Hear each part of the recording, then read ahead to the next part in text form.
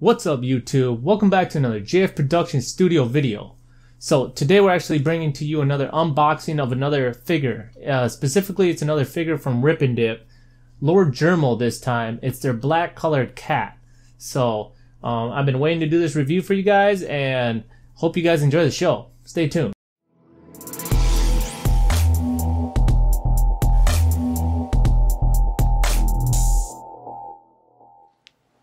All right, so here we go. Here's the box. Came in.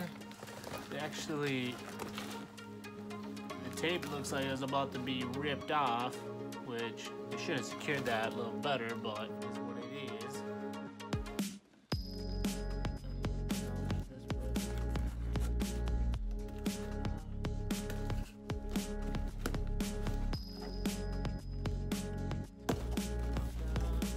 Alright, here's the moment of truth.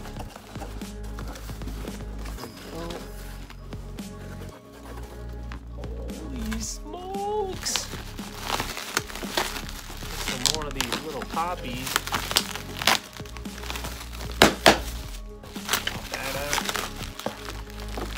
Oh. So they did secure that well. Same set though, same set as last time. He could have gave me some different ones. Come on, ripping it.